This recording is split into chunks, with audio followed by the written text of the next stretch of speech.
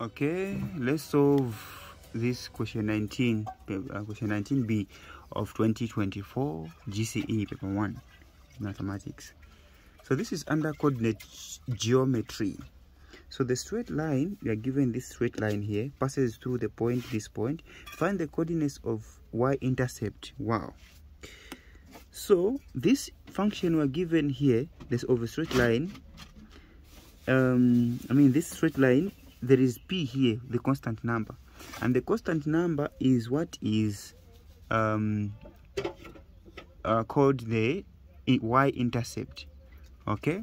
It is the y-intercept. So this one is the y-intercept. Now finding that one will be very easy that uh, since we have given we've been given the point. So we're going to say we're going to say y y is equals to 1 over 2 x plus p.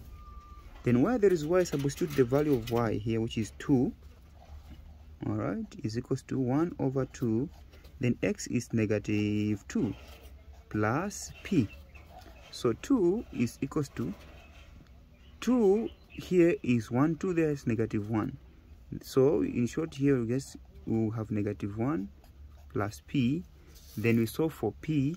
So this one cross the cosine need to be 2 plus 1 since it is negative then this one becomes 3 p is 3 is equal to p. Therefore p is equals to p is equals to 3 the, well, now what are the coordinates? The coordinates are the value of x in the y-axis listen it is like this. This is the y-axis this is the x-axis. The value of x here is always zero. The value of x here is all the value of y here is zero.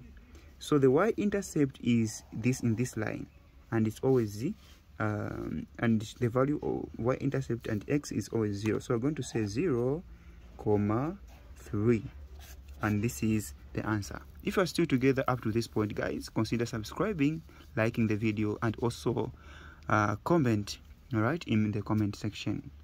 You should also share with your friends all right if this is um, making sense to you